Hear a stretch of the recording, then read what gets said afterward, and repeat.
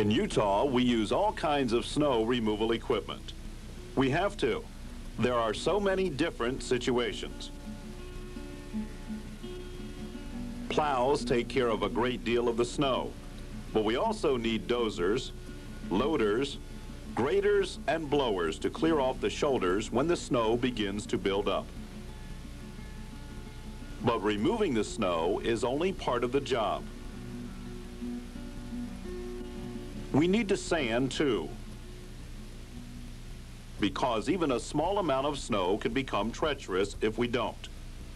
Get a hold of Strawberry and tell them to get some trucks up on Daniels Summit that the road's getting slick and there's cars going off.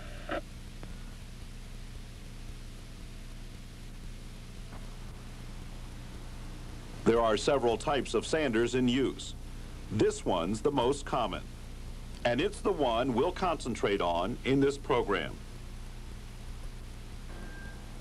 It runs by hydraulic power and is temporarily mounted in the dump box of a truck.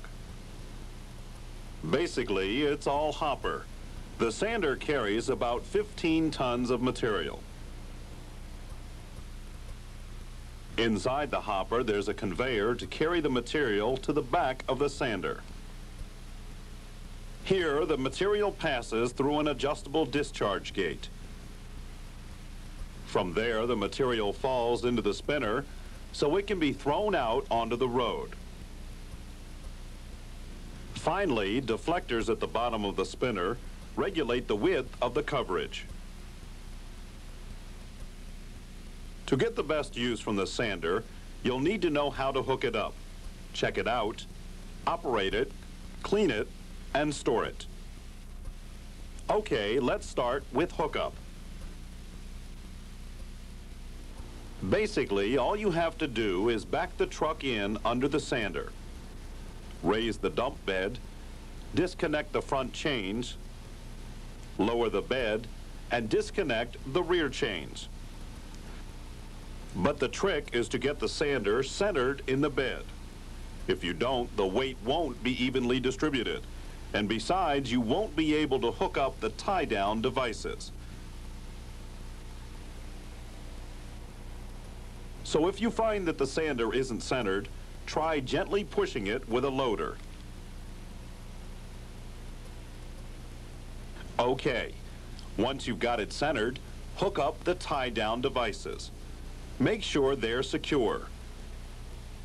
And the sander has its own lights, so make sure the sander is connected to the truck's electrical system. Now, as I said earlier, the sander runs off hydraulic power. So the last step is to hook up the hydraulic hoses. There are three of them. One to the conveyor motor, one to the spinner motor, and one return line. Be sure to wipe off the hydraulic fittings before hooking them up so you don't force dirt into the lines. And that's it for hookup. Now, daily checks. The first thing you should do is check the hydraulic oil level. The reservoir will be under the bed, outside the frame, or inside the frame. And remember, whenever you raise the bed to check anything, be sure you block it. Next, check the oil level in the auger pump.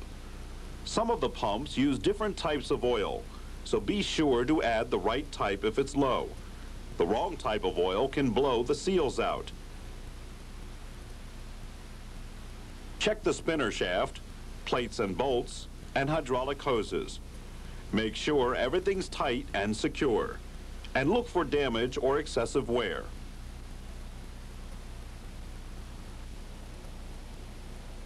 You have a couple of adjustments to make too. One for the amount of sand you're placing, and the other for how wide you're placing it. For the most part, the deflectors are set the same. That's because you're normally sanding one traffic lane. So you won't have to adjust the deflectors very often. It's different with the discharge gate. You'll change the amount of sand you're placing depending on the type of road and the conditions. The specific setting to use is basically a matter of experience. For a starting point, though, ask your supervisor. One more thing before you start up. Check the hopper for any buildup of material and clean it out if there is any. Okay, now turn on the conveyor and the spinner. Make sure the conveyor is running smoothly and check the spinner shaft to see if it's bent. Look over the hydraulic hoses too. Make sure there are no leaks. You have to let the truck run for 15 minutes or so to let the hydraulic oil warm up. And that warm-up period is a good time to do your regular daily checks on the truck. Keep in mind that the sander has its own lights, so check them as well as the truck's lights and clean them off too. They don't do much good if they are covered up. Okay, that's it for the daily checks. Now, let's look at operation. You'll find two control knobs in the cab for the sander. One for the conveyor speed, the other for the spinner speed. By adjusting both controls, you can increase or decrease the amount of material being placed and the width of the placement. Sound familiar? It should. As I said earlier, the discharge gate and the deflectors control the amount of material placed and the width of the placement.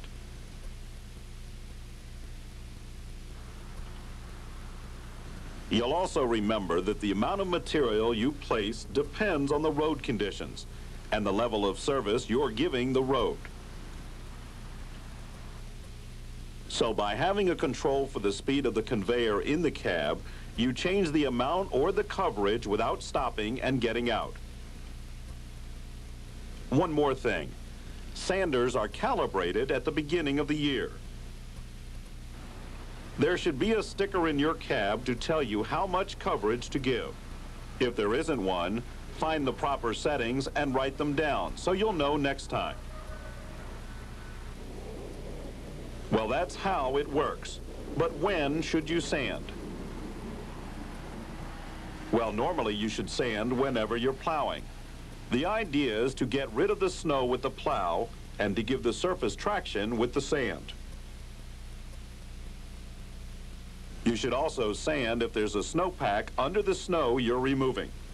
Sanding's the only way to free it up so you can plow it.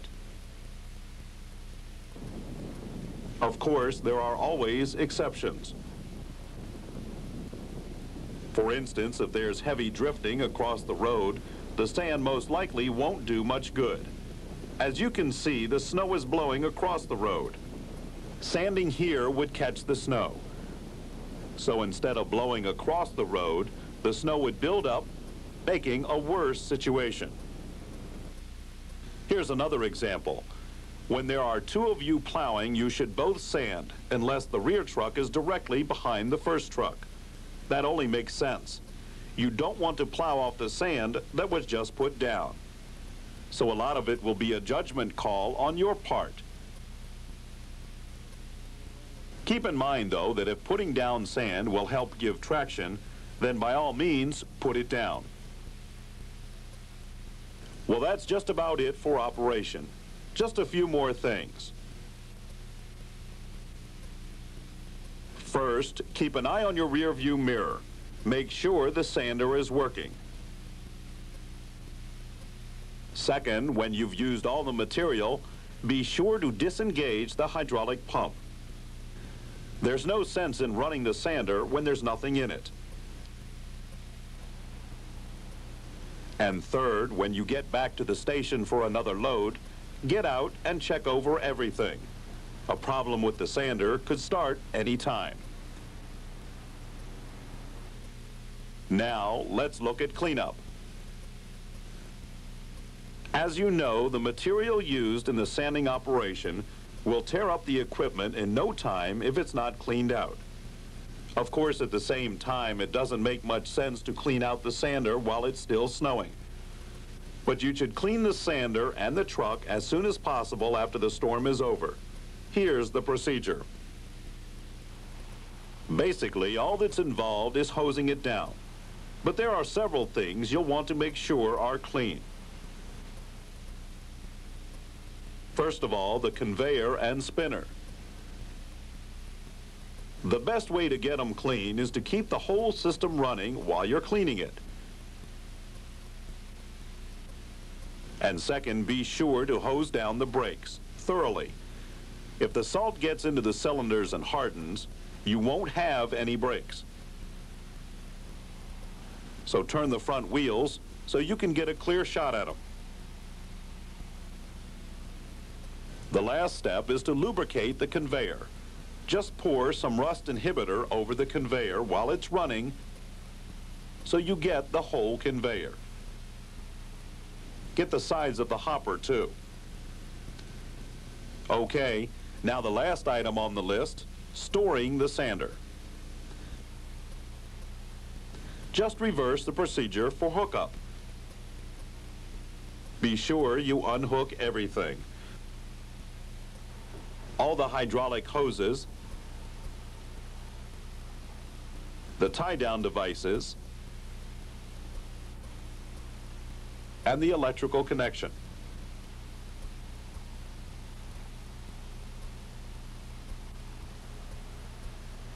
There are a few points that you should lubricate to before putting the sander in storage. There are two on the auger pump and one on the spinner. Of course, always wipe off the fittings before greasing so you don't force in dirt.